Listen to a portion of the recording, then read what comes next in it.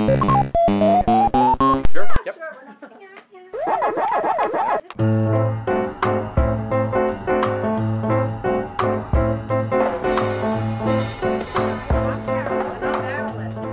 This is Reel Talk. My first movie is Money Monsters. It stars um, George Clooney and Julia Roberts, and they kind of have a chemistry beforehand anyway because they played in lots of movies, Ocean Eleven and all that good stuff. But he plays in this movie, um, Money Monsters. He plays a smug and slick pundit. He has a financial TV show, and on one of his last shows, it was Julia Roberts' last show, she's his producer, and it's her last show, and he doesn't know that yet. So he's like being like his usual slick self, and he's giving her a hard time about where he wants to stand because he's in his little studio now. And unbeknownst to Julia Roberts and him, a delivery fellow gets in, and he has a gun, and he has a vest with explosives on it, and he's more than upset and he wants to actually go after George Clooney because he lost sixty thousand dollars on his financial advice. He he wants to know why. Now, of course, now George Clooney is freaking out because he's used to being the star and smug as he is. He's saying, "Well, it's algorithms and it's a glitch in the system," and this guy's not buying this at all. And he's got his hand on that button to see if that vest will explode. And uh, Julia Roberts, because he's still got that thing in his ear, is trying to say, be calm, be nice to him. This is a serious thing now. You're not the genius that you think you are.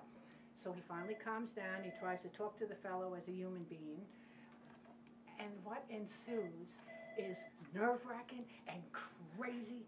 And it's being watched now by millions of people. So half of those millions of people are saying, oh, yeah, we got screwed watching these financial oh, guys no. on TV also. so does he kill George Clooney? Does he kill Julia Roberts? Does Julia Roberts actually quit and leave him alone? What happens? Does she attend his funeral or does she attend his next show?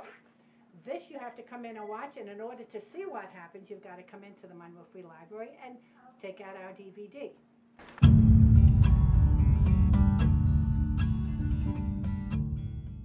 My movie is called Detroit 187. And if you've ever seen me in the past, you know I like those cop shows, and this is a cop show. The main character was a character on The Sopranos, Michael Imperioli. Oh, yes, yes, yes. Um, and he does a masterful job in this particular series. But besides being a cop show with interesting murders that happen and having to be solved, you actually see the state of Detroit in modern day. Um, we all know Detroit has had a lot of problems, and it's a shame to see a beautiful city and how um, many abandoned buildings there are. And in fact, that is the backdrop of the story, and you're intended to see the state of Detroit in this series. That is part of the series. Um, I'm going to give you a spoiler because I thought that Michael Imperioli was so cute that I wanted to see pictures of him when he was younger. So sometimes when I'm watching a DVD, I have my iPad near me and I look at a character to see if I can find images. And I happen to see that he had two sons. And ultimately in the show, he, there's a mystery around him. He was in New York and now he's in Detroit. And there's a mystery about that. And he has a son, you find out. And now the son's going to visit toward the end. And when the son came, my husband all of a sudden said, Holy moly, that kid looks just like him. And I had just happened to read about him and realized in life that is his son. And his Oh, son does this great job. So when the kid comes into the, the picture, you'll know that's his real son in real life too. But I highly recommend it, not only because it's a, just a darn old good cop show, but because you get to see Detroit in a way that you'd have to live there to know. Um, so this is being processed. Great. I highly recommend it. Where can we get this all this great stuff, Carol? Well, I'm thinking you can come into the Monroe Free Library And check it out. burned